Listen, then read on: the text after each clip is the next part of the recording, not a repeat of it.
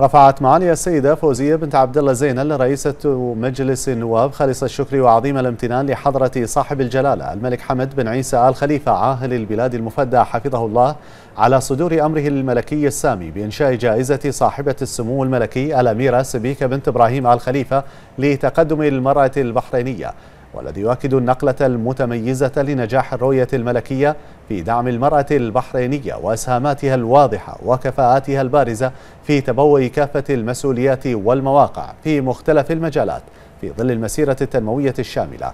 وأكدت معالي رئيسة مجلس النواب أن الأمر الملكي السامي يعزز من اجتياز مملكة البحرين وعبر خططها واستراتيجياتها في دعم المرأة البحرينية والانتقال بها من مرحلة التمكين إلى مرحلة التقدم وأن هذا الإنجاز الذي تحقق جاء ذلك بفضل جهود وعطاء واهتمام صاحبة السمو الملكي الأميرة سبيكة بنت إبراهيم آل خليفة قرينة العاهل المفدى رئيسة المجلس الأعلى للمرأة. وما تليه سموها من رعاية ودعم ومتابعة لبرامج المرأة البحرينية.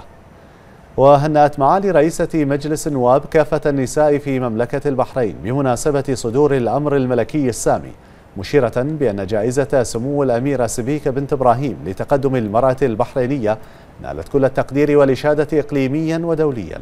مؤكدة معاليها دعم مجلس النواب لكافة مجالات تقدم المرأة البحرينية وإدماج احتياجاتها في خطط وبرامج التنمية الوطنية.